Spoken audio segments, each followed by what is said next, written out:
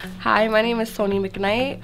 I'm here taking up criminal justice. I um, plan to be a future parole officer, and I feel like Clinton is helping me to further my career choice.